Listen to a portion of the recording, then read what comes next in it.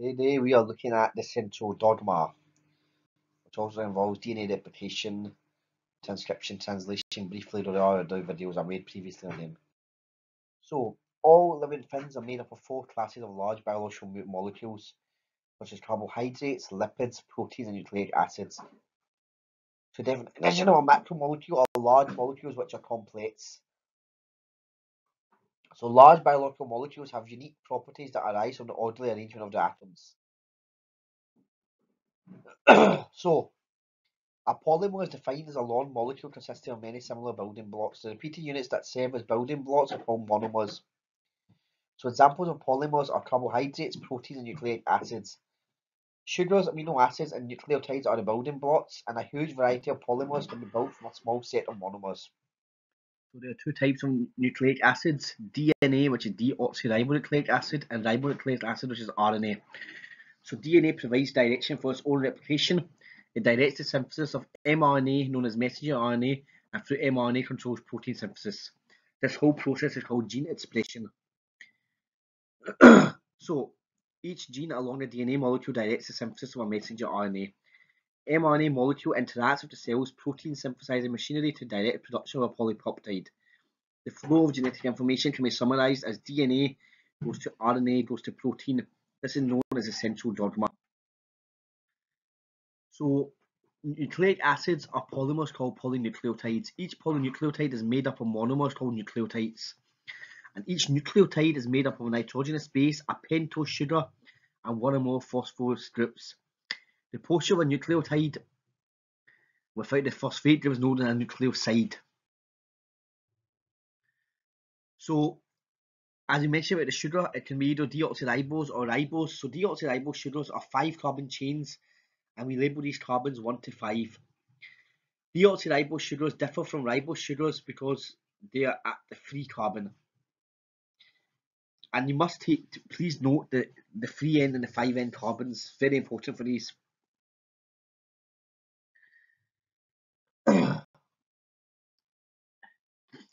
So DNA molecules have two polynucleotides spiraling around an imaginary axis forming a double helix. The backbones run in opposite 5 end to 3 end directions from each other, an arrangement referred to as antiparallel.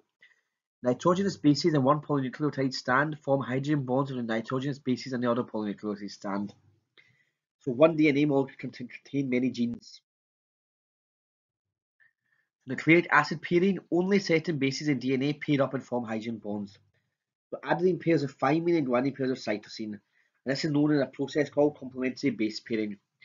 This feature of DNA makes it possible to generate two identical copies of each DNA molecule in a cell preparing to divide. So look at hydrogen bonds. Hydrogen bonds form when a hydrogen atom covalently bonded to one electronegative atom is also attached to another electronegative atom. In living cells, the electronegative atom partners are usually oxygen nitrogen atoms. The phosphate group binds the ribose sugars together into the sugar phosphate backbone and these are very strong and these are known as phosphodiester bonds. So the bases involved, adenine, thymine, cytosine, guanine, these are known as purines or pyrimidines. So the rule is, is a purine always pairs with a pyrimidine via a weak hydrogen bond adenine is your purine and cytosine is your thymine and adenine pairs of thymine which is your pyrimidine and cytosine pairs of guanine and guanine is your pyrimidine. No sorry. Adenine guanine are your uh, purines. So think of your structures. Adenine thymine cytosine guanine cytosine guanine thymine adenine and if you can see here so think of it as like a ladder that is then twisted to form a double helix, you can see here. So, DNA is usually much longer than the cell in which it resides. Prokaryotic DNA can become coiled or supercoiled, but eukaryotic DNA has a special feature where it is coiled around histone proteins, which collectively coil into nucleosomes and then into chromosomes.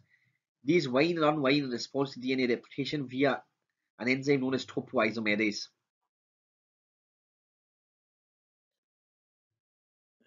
So DNA replication is one of the most basic processes of a cell. It is the process by which a double-stranded DNA molecule is replicated to form two new double-stranded DNA molecules. Each time a cell divides, the two new daughter cells must have the same amount of DNA as the parent cell. To do that, each strand of the parent DNA acts as a template for replication. There are three major steps in DNA replication. The opening of the double helix and separation of the DNA strands, the priming of the DNA strands, and assembly of the new DNA molecule. So during the replication, the DNA unwinds at a specific location called the origin. So this is a two-step process. An initiator protein unwinds a short stretch of the double helix. An enzyme called helicase then binds and breaks the bonds between the bases, separating the two DNA strands. As the helicase unwinds the DNA, another enzyme primase binds to an unwound strand and builds a short stretch of nucleotides known as a primer. And this is the point where DNA replication begins. Once the primer is assembled, DNA polymerase attaches to the strand where the primer is. So DNA polymerase is classified as an enzyme that attaches new nucleotides to exposed nitrogenous bases and building a new strand.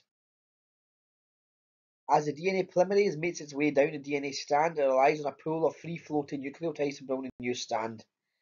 The nucleotides are always paired with their partner nucleotides. Say, for instance, adenine with thymine, cytosine and guanine. And adenine and guanine are your purines, and cytosine and thymine are your pyrimidines. And this is known as complementary base pairing. so it's a very quick process DNA replication. For example, the bacteria E. coli can add 1000 nucleotides per second and humans can add 50 nucleotides per second. The reason it's so quick is because multiple polymerases can synthesize new DNA strands from both original strands. Double stranded DNA is anti-parallel, so the two strands are replicated differently. So you see here, 5N to 3N phosphate group and 3N to 5N hydroxyl group. So let's look at this concept of leading and lagging strands. So DNA polymerase can only add nucleotides to the free end of a DNA strand. The leading strand can be replicated continuously because the free end of a new strand is the free end. So DNA polymerase follows helicase along the strand, adding new nucleotides to, to build a new DNA. So that was the leading strand. Now look at the lagging strand. In order to replicate the lagging strand, DNA polymerase needs to read it 3 to 5, and so the lagging strands undergo replication discontinuously. Numerous RNA primers are made by primase and bind at various points along the lagging strand. So the lagging strand has to work backwards from the replication fork, so it still adds nucleotides to the free end. So it needs to stop while helicase unwinds more of the DNA, meaning the lagging strand is replicated in small pieces of DNA called Okazaki fragments. These are joined together later by the enzyme ligase, so ligase joins the fragments together. so the central dogma is the concept that cells are governed by a cellular chain of command. So as I said, DNA goes to RNA to protein. DNA to RNA is transcription, and RNA to protein is a process known as translation. The basic principles of transcription and translation is RNA is the bridge between genes and proteins for which they code. Transcription is the synthesis of RNA using information in the DNA. Transcription produces messenger RNA, and translation is the synthesis of polypeptide using information in mRNA. And the site where translation occurs is known right as ribosomes. So here, here's a nice wee diagram. Transcription, RNA processing, nuclease, you can see here, the DNA to pre-mRNA is transcription, and the pre-mRNA going to mRNA is a process known as RNA processing, in which certain things can occur, like your adding of the guanine cap, your poly tail, your splicing, and after that it goes to nuclease, and from here translation can occur in the ribosomes. The molecular components of transcription an RNA polymerase is where it carries out RNA synthesis, which pries the DNA strands apart and joins the RNA nucleotides. The mRNA is complementary to the DNA template strand. RNA polymerase does not need any primer. However, there is something key here I know. RNA synthesis follows the same base pairs as DNA, such as adenine pairs of thymine and uh, guanine pairs of cytosine. So adenine being your purine and guanine being your purine pairs of pyrimidine. But the difference is, is that in mRNA, there's no thymine, there is uracil. So adenine pairs with uracil. So transcription is a very similar process DNA replication. It also has three stages, initiation, elongation and termination. So when it's the start of transcription in a process known as initiation, promoters signal that transcription start point and usually extend in nucleotides upstream of the start point. Transcription factors mediate the binding of RNA polymerase and initiation of transcription. The completed assembly of transcription factors on RNA polymerase 2 bound to a promoter is called a transcription initiation complex. A promoter called a TATA box is crucial in forming the initiation complex in eukaryotes. So here in this diagram you can see a eukaryotic promoter with the TATA box. Several transcription factors bind to the DNA and this is also formation of the transcription initiation complex. So moving on to the second stage of DNA transcription which is elongation of the RNA strand. So as the RNA polymerase moves along the DNA, it untwists the double helix 10 to 20 bases at a time. Transcription progresses at a rate of 40 nucleotides per second in eukaryotes. So a gene can be transcribed simultaneously by several RNA polymerases. Nucleotides are added to the free end of the growing RNA molecule. Diagram showing the elongation of the RNA strand and nucleotides being added.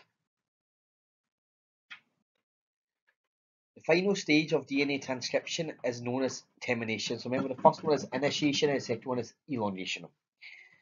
The mechanisms of termination are different in bacteria and eukaryotes. In bacteria, the polymerase stops transcription at the end of the terminator and the mRNA can be translated without further modification.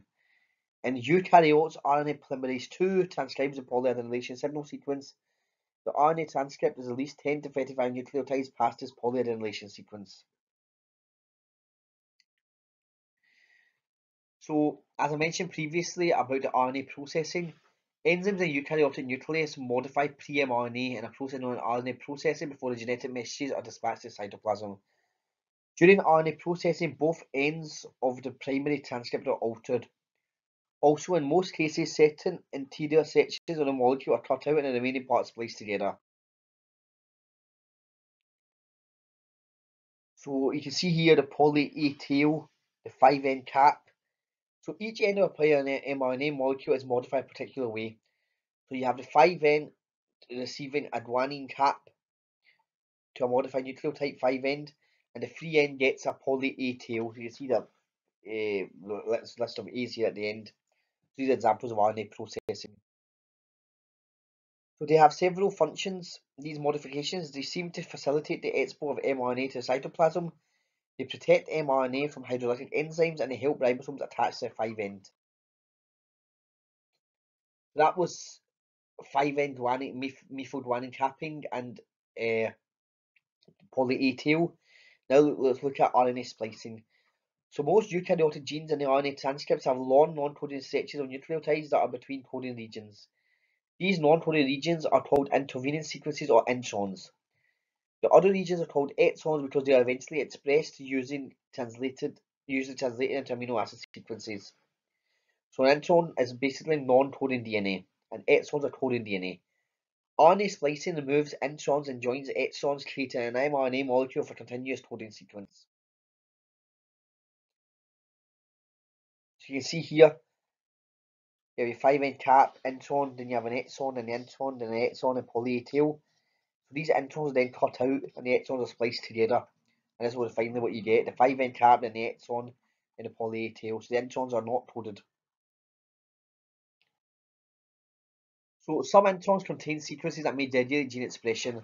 Some genes can encode more than one kind of polypeptide depending on which segments are treated as exogenous splicing. This process is known as alternative RNA splicing. As a result, the number of different proteins in an organism can produce is much greater than its number of genes. Proteins often have a molecular architecture consisting of discrete regions called domains. In many cases, different exons code for different domains in a protein. Exon shuffling can result in the evolution of new proteins. That's the end of today's video. So if any of one of you have enjoyed this video and you want to look in more detail about DNA transcription, translation, replication, I do have previously videos made. If you look at my biochemistry playlist, they'll show you about DNA mutations, transcription, translation, etc. And they're very good in that sense, you know, even if I do say so myself and uh, quite quite a lot of detail to this video. But anyway, thank you very much for tuning in today, and I hope we see you in the next one. Thank you. Bye bye.